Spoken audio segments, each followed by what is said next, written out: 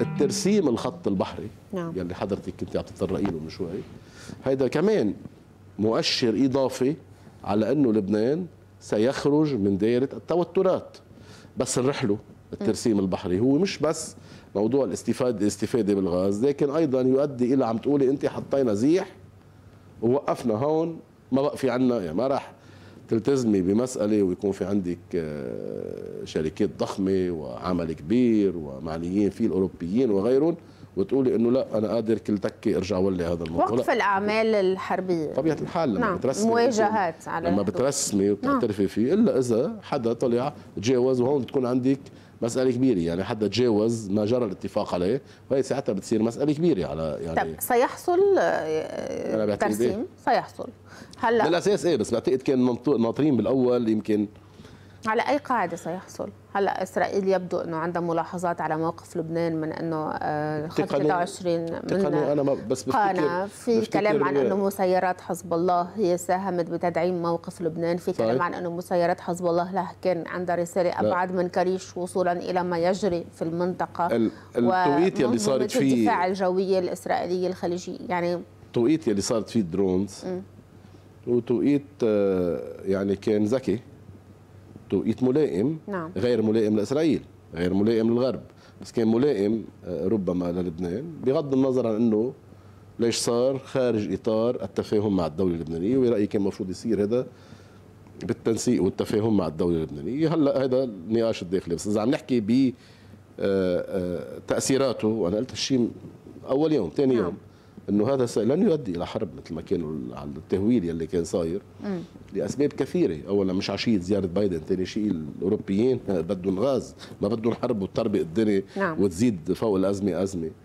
بس لكن كمان صار بالوقت يلي هو معرقل كثير واقف جامد المفاوضات النووية. رغم إنه حزب الله نفى إنه يكون له علاقة بالموضوع الإقليمي بس بالتحليل السياسي أنا في اسمح لنفسي وغيري في يسمح لنفسه كمان يروح يربط هذا الموضوع بهونيك ومثل كأنه الإيراني إذا بدك تفسري الرسالة عم بيقول له سيسرني بقى تعسرني بقى بالموضوع النووي. نعم. وأيضا بالداخل أيضا مع على ما يبدو هنالك مسائل بدها إياها آه، ربما الأمريكيين ربما الإسرائيليين يعني أكثر ما هو مشكل تقني هو مشكل سياسي خلفية سياسية. اللي صار لما ال drones وصلت لهونيك ونقى نوعية drones عم بيقول له للي قدامه مرحبا شفتني؟ بوصل لك. آه، عم بيقول له يعني إنه ما تحشرنا بعد أكثر ما تاخذنا بعد أكثر نعم. قادر شاكس. وإذا شفتي يومتها الشركة اليونانية كمان جمدت وكلهم جمدوا لأنه ما حدا بيقدر يشتغل ما فيك تاخذي ثروة مع اضطرابات بتفل. يعني نعم. تعملي استخراج آه، أو آه، استثمار كبير هايل مع اضطرابات بفلوا مش بالضرورة تعملي حرب يعني ليفلوا تلوحي بالحرب بس بيحملوا حالهم وبيفلوا. فإذا هيدا يلي ألزم الكل مثل ما شفتي أول زيارة يلي بالزياره يلي عملها رئيس وزراء إسرائيلي جديد يعيد لابيد لباريس وشاف الرئيس الفرنسي كان طبعا شو بدي بالحكي هذاك بس إنه يلا روحوا رسموا. فإذا جاوز وقت رح تتجاوز مرحلة زمنية كان بدهم إياها لأسباب تانية ربما لشروط أو لمسائل تانية. مشان هيك عم لك هلا هن مس- مستعجلين على ترسيم لأنه أوروبا بدها غاز مثل ما قلت حضرتك. بس مع إنه الغاز بس هل هيدا شيء بيساعدنا؟ بيساعد لبنان بموقفه من مسألة المفاوضات؟ يعني يعني لبنان سيحصل. على 23 أنا كنت عم. أنا كنت آه، لك في مسائل أكثر لها علاقة. بفتكر لقدام ربما كان منتظر بهذا المناخ كله. هنالك مسألة بتطالب فيها إسرائيل على طول وعم يطالبوا فيها مع الأمريكان. هي موضوع الصواريخ الدقيقة تبع حزب الله. نعم. أنت لما بترسمي الحدود عم بتقولي بالأول العمل العسكري ما بقى موجود هلأ. طالما كل الأمور ماشية وفي عندك مليارات الدولارات يلي عم يشتغلوا بهذا البحر هون. نعم. بس هذا بمرحلة لاحقة تانية وراه بده يجي ترسيم الحدود البرية. وبالتالي كمان لما ترسم رسم الحدود البرية وهون أهمية الرئيس يلي بده يجي لقدام كيف نعم. تكون الصيغة. مشان هيك عم لك بدك تشوفي كيف بدها تكون. المسألة منا بسيطة منا مربوطة بس بأنا استحليت فلان أو كيف تكون لقدام مع الصورة الإقليمية. لما بتروحي بترسمي هودي بتقولي كمان ما بدك تلتزمي عندك التزاماتك. هلا ضمن معروف الالتزامات يلي عندك إياها. بس هون بترجعي بتقولي هل هنالك شيء من هذه التلميحات الآن؟ ليش حتى كمان نحن عم نضغط؟ هل هو بس فقط موضوع اقتصادي؟ بتعرفي نحن عم نقن آه، تحت الموضوع الاقتصادي المعيشي. ورغم إنه هلأ السواح يمكن يلي إجوا أو المغتربين عم بيكبوا دولار بس هو اللي بدهم يفلوا باخر اب بايلول برجع أزمتي الكبيرة أنا.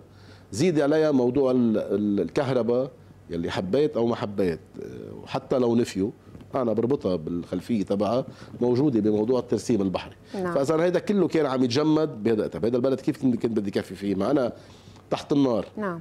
هون شو عم بقول له عم بقول له عجل لي بهذا المسار ووقف لي موضوع النار يلي طيب عجل بهذا المسار. يعني أي متى اليوم التوقعات أن يعود هوكستين وأنه يكفوا هذه المسألة؟ بدك تشوفي كيف الصيغة رح تطلع بخلال هوكستين وجوده بإسرائيل مع بايدن. يلي واضح إنه جاي وراح يكون هذا الملف يلي هو. حاضر. المؤشرات يلي إجت بتقول إنه ما بقى بعيدة. هيك بيقولوا. بس بالآخر أنت بتضلك لاقطه قلبك عيدك يعني تعودنا إنه مش كثير نعلق آمال أو إنه نضلنا نأذنين في كلام عن إنه هلأ آه، مش عم لك. هلأ يعني قبل الشتاء لأنه بدهم يبلشوا ايلول اللي كانوا عم يحكوا. بس برجع بقول هيدي وعود أو هيدا أنا بضلني نقزان أنا قد ما انكويت. بضلني نقزان إيه الكلام؟ مثل ما عم بتقولي إنه المفروض يكون قريب المفروض يكون يمشي حاله بايلول وهيدا بينعكس كمان بشكل مباشر مثل ما قلنا من شوي على موضوع الاستحقاق الرئاسي وكيف تروح المسائل لقدام. بالآخر ليكي. إنجاز إنجاز الحدود البحرية يذهب باتجاه رئيس تسوي أكثر صح؟ إيه لازم. مم. يعني لا لأن بس بدك تروحي لهونيك أنت مش ما بدك تروحي باتجاه إذا رايحة للتبريد مثل ما إيه. حكينا بالأول المقدمات هودي الضرورية. نعم. أنت رايحة للتبريد ورايحة على مناخ آخر ورايحة على ترسيم حدود بحرية وبرية لقدام.